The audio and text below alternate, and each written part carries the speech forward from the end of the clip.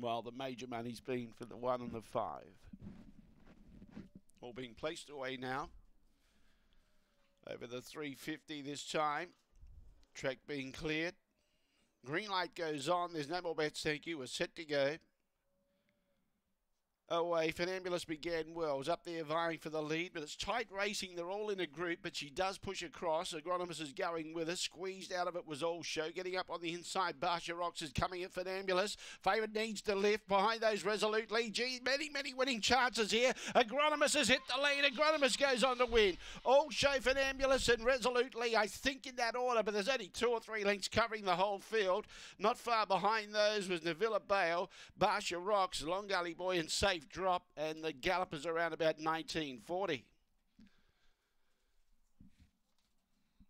Agronomist has uh, been a little bit too strong over the concluding stages. Funambulous kept kicking back on the inside. It was really tight racing. Just copped the bump at a vital stage.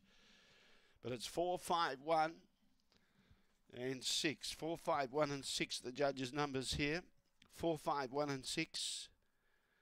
And another winner for Beck Remain here, this time with Agronomist, who's been uh, quite consistent with straight track racing. And makes it a treble here today for Beck Remain. They were really tightly munched. And Agronomist, that makes it his third win now from eight goes with four placings. So he's been really consistent over the 350 and the same could be said over the 300 as well.